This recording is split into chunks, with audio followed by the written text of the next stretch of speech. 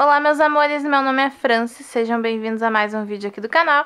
No vídeo de hoje eu trago para vocês esse modelinho de barrado, bem rápido, bem fácil de fazer.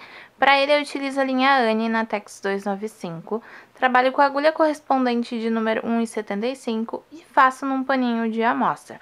Já aproveito e te convido para se inscrever no canal caso tu não seja inscrita, deixa teu like para me apoiar e comenta aí o que tu achou desse modelinho. E não esqueça também de compartilhar com alguém que possa gostar desse tipo de vídeo. Agora bora pra aula. Bom, pessoal, vou começar com o barrado normal, tá? Então, eu laço a linha, subo até a lateral da bainha, laço a linha, passo por dentro do fio, faço duas correntinhas para chegar no canto, e aqui no canto eu faço um furinho no tecido e um ponto baixo.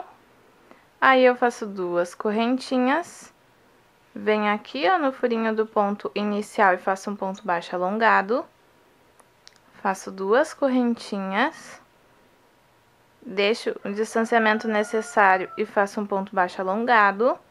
Ignorem o galo cantando, tá?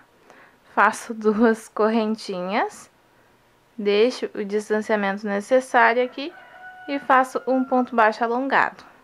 O modelinho de hoje, ele é múltiplo de 4 mais 1. Isso significa que eu vou contar 1 e depois sempre de 4 em 4 até o final da lateral que eu for fazer o barrado, tá? Eu vou fazer o caseado em volta de todo o paninho, concluindo eu venho mostrar a nossa primeira carreira. Concluindo o caseado, gente, eu já subi com ponto baixíssimo até o canto aqui. Agora, essa primeira carreira, ela é bem simples, tá? É tipo aquele modelinho de tijolinho.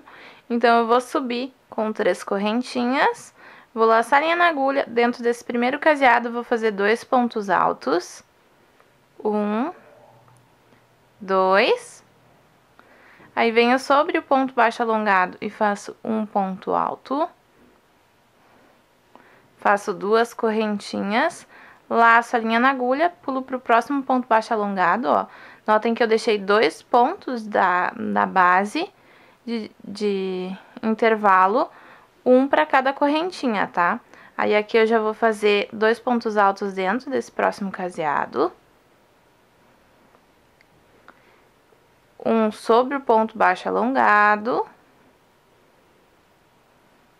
Faço duas correntinhas de novo, laço a linha, venho para o próximo ponto baixo alongado. Assim eu vou seguir até o final da carreira, tá? Sempre utilizando um caseado para fazer um bloquinho de quatro pontos altos, aí um intervalo, quatro pontos altos, intervalo, quatro pontos altos e intervalo até chegar no final da carreira. E como a gente começou com pontos altos, lá no último caseado tem que concluir com bloquinho de quatro pontos altos também. Ó, finalizei então essa carreira com o quarto ponto alto bem no cantinho aqui sobre o ponto baixo que eu tinha fixo no paninho. Então, eu viro o meu trabalho nesse sentido. Agora, a gente vai inverter as posições do, dos intervalos e dos bloquinhos de pontos altos. Ou seja, onde eu tenho o bloquinho de pontos altos, eu vou fazer um intervalo.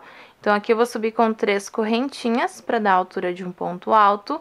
Vou fazer duas correntinhas para ser o meu intervalo. Laço a linha na agulha, conto um, dois, nesse último ponto alto faço um ponto alto.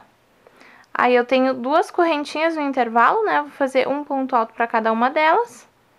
Aqui, um, dois, e faço mais um sobre o primeiro ponto alto aqui do próximo bloquinho. Aí, sobre o bloquinho, eu faço um intervalo de duas correntinhas, laço a linha, pulo para o último ponto alto aqui e já começo um bloquinho de pontos altos de novo sobre o intervalo. Dois pontos altos dentro do intervalo. E depois sobre esse primeiro aqui do bloquinho, tá? Aí, novamente, faço duas correntinhas, laço a linha na agulha, pulo pro último ponto alto aqui do bloquinho. Ó, sempre vai ser assim, um ponto para cada ponto de base, fiz duas correntinhas, pulei dois pontinhos. Aí, fiz um ponto alto aqui, tenho duas correntinhas no intervalo, vou fazer dois pontos altos. É um ponto por ponto. Assim, eu sigo até o final, tá, da carreira. Quando eu estiver finalizando lá, eu vou terminar com um intervalo, né? Então, eu vou fazer o ponto alto sobre esse ponto alto, as duas correntinhas, e daí o último ponto alto sobre a terceira correntinha aqui, tá? Lembra que a gente começou com três correntinhas para dar a altura de um ponto alto, então eu faço o ponto alto na terceira correntinha. Aí aqui é só seguir dessa mesma maneira. Gente, concluí aqui, ó, ficou assim, então, a segunda carreira, tá? Terminou em intervalo, assim como começou. Vira o meu paninho nesse sentido. Agora, a nossa última carreira, é um pouquinho diferente, tá? Então, eu vou subir aqui com três correntinhas para dar a altura de um ponto alto. Vou laçar a linha na agulha, dentro desse primeiro intervalo, vou fazer dois pontos altos. Um. Dois. Aí, eu vou fazer um ponto alto sobre esse ponto alto aqui.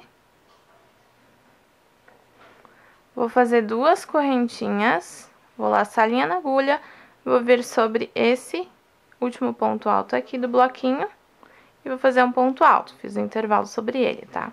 Aí, eu vou fazer mais um bloquinho de quatro pontos altos. Dois dentro do intervalo e um sobre esse primeiro ponto alto aqui do próximo bloquinho de quatro pontos altos. Cheguei aqui, ó, tenho dois bloquinhos de quatro pontos altos em intervalo. Cheguei nesse ponto aqui, eu vou subir aqui com cinco correntinhas. Uma, duas, três, quatro, cinco. Aí, eu viro meu trabalho aqui, ó, pulo dois pontos. Nesse último ponto alto do bloquinho, eu faço um ponto baixo. Aí, faço duas correntinhas pulo até esse próximo ponto alto aqui e faço um ponto baixo. Aqui, tanto as correntinhas do intervalo como essas que a gente fez para caminhar até aqui, vão contar como pontos altos. Então, a gente já tem dois pontos altos aqui, tá? Viro meu paninho novamente nesse sentido. Aí, eu vou laçar a linha na agulha, vou vir dentro desse intervalo e vou fazer mais um ponto alto. Fiz isso, agora eu vou fazer três correntinhas para descer. Venho aqui e faço um ponto baixo, tá? Aí, eu subo com três correntinhas, laço a linha na agulha, venho aqui e faço dois pontos altos, dentro desse mesmo intervalo. Um, dois, faço três correntinhas para descer, venho aqui e faço um ponto baixo, subo com três correntinhas, Laço a linha na agulha, venho aqui e faço dois pontos altos. Um, dois. Laço a linha na agulha, venho sobre o ponto alto e faço um ponto alto. Aí, laço a linha na agulha, venho sobre, ó, conto um, dois, esse último ponto alto do bloquinho, faço um ponto alto pra fixar esse meu pontinho no tecido, tá? escapou. E daí, o nosso pontinho ele vai ficar assim. Cheguei nessa parte, tá? Vou fazer a mesma coisa que eu fiz aqui no início. Já vou começar um bloquinho de pontos altos, tá? Faço dois pontos altos aqui dentro do intervalo. Assim, vou fazer um ponto alto sobre o ponto baixo alongado. Aí, eu faço um intervalo e faço mais um bloquinho de quatro pontos altos, tá?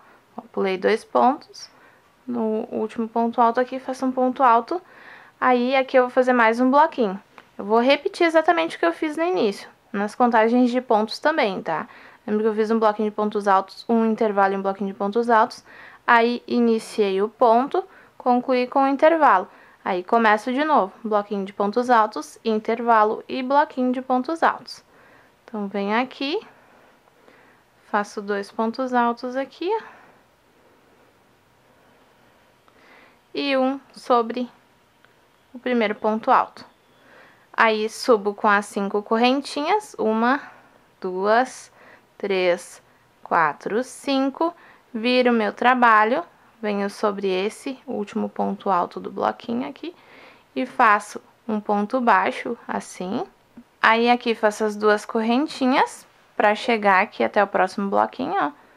Faço um ponto baixo sobre o primeiro ponto alto, viro meu trabalho. Reparem que esse bloquinho de pontos altos aqui vai ficar como um intervalo entre essas nossas florzinhas, dá para chamar de flor, né? Tem quatro pétalas aqui. Então, sempre vai ter um bloquinho de quatro pontos altos de intervalo. Então, eu vou laçar linha na agulha, vou fazer mais um ponto alto aqui dentro. E vou fazer as três correntinhas para finalizar essa primeira pétala aqui. Três correntinhas, venho aqui e faço um ponto baixo. Aí, subo novamente com três correntinhas, laço a linha na agulha, venho aqui e faço dois pontos altos. Um, dois, faço três correntinhas para descer, venho aqui e faço um ponto baixo, aí subo com três correntinhas de novo, laço a linha na agulha, venho aqui e faço dois pontos altos, tá? Um, dois, e faço um ponto alto sobre o ponto alto aqui.